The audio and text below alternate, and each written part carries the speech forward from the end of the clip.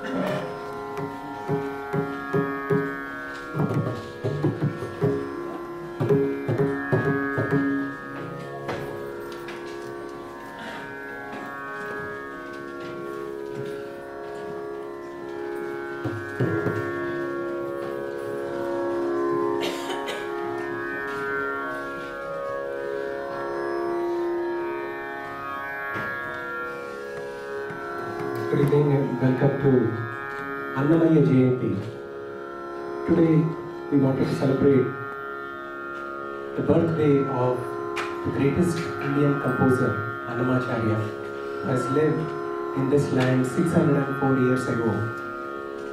There has been no composer in India, as I am aware of, who has lived so many years back, had such a rational thinking, such a devotion to God, such a love for human beings. We're very happy to be celebrating this in uh, the Infosys campus today.